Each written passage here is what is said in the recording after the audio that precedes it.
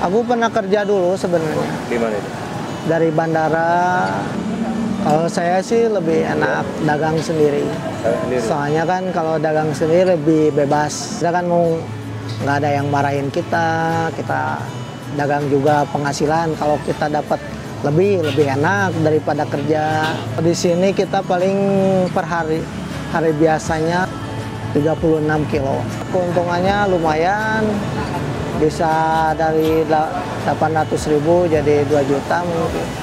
Jadi dalam bola ubi itu eh, dibuatnya dari apa aja sih? Bolo ubi itu sendiri dibuatnya dari ubi merah, ada campuran tepung kanji sama gula putih. Heeh. Ubi merahnya itu dikukus dulu tuh, Pak ya? Iya, dikukus dulu. Tepung kanji. Ya, tepung kanji. Berarti nggak pakai bahan pengembang sama sekali? Oh enggak, enggak. Ini murni dari teknik sama campuran dari tepung kanjinya itu. Ada takarannya tapi nggak jadi patokan, tergantung datangnya ubi. Nah, gitu. Berarti yang tidak di sini itu berarti aman ya, nggak ada bahan pengawet sama sekali. Pak? Oh enggak ada, aman. Dulu enggak ada enggak ada unsur bahan kimia yang mengandung bahaya lah. Ah, Assalamualaikum warahmatullahi wabarakatuh. Nama saya mah Helmi Muhammad Darusman. Nah, usaha ini udah berapa lama? ya? Oh, usaha ini mah udah dari tahun 1970-an lah kalau nggak salah. Yang tapi yang lebih tahu paman saya sih sebenarnya. Cuman yang saya tahu sekitar 1970-an. Ini teh keluarga. Jadi usaha dari keluarga kakek Oh, yang turun temurun gitu ya? ya turun temurun. Dari kakek ke anak baru ke cucu-cucunya. Saya yang termasuk cucunya sebenarnya. Ya kalau kita mah dari cucu mah lebih lebih enak lah, lebih tinggal nerusin. Soalnya kan yang lebih ngerintis paman-paman sih sebenarnya. Yang lebih susah dari Ini pembarangan dari awalnya kayak gini ya, ya. Iya. Banyak banget aja, penuh. Iya. Penuh. Satu apa namanya ember Satu box. satu box. Iya. Terus Kalau di sini ada plastiknya ini ya, apa? plastiknya Iya. buat pembatas berarti ya. Iya, pembatas. Biar sekali biar segini sekali goreng. Heeh. Oh, biar gak nempel. jangan nempel.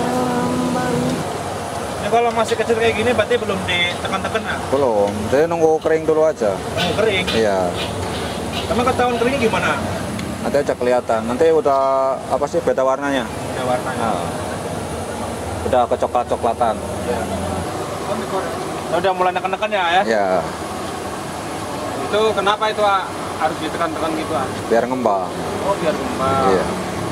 Dan nanti kan ngembang juga, terus ya hasilnya renyah juga. Terus dalamnya biar kopong gitu kan. Oh. Hmm. Iya.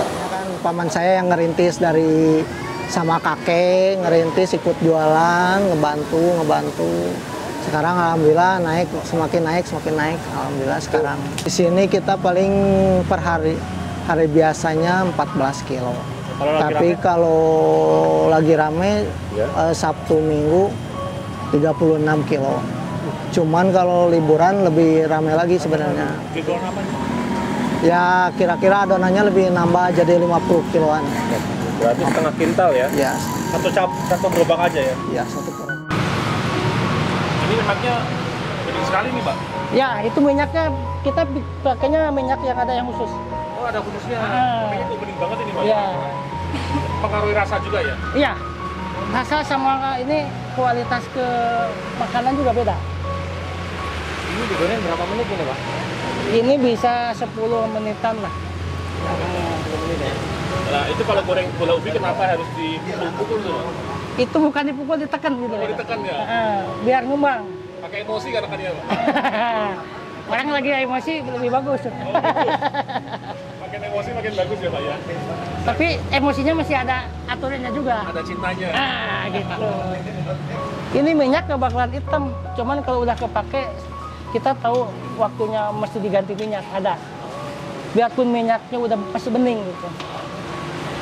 Soalnya ini dulu basicnya apa sih pernah kerja apa Aku pernah kerja dulu sebenarnya di mana itu?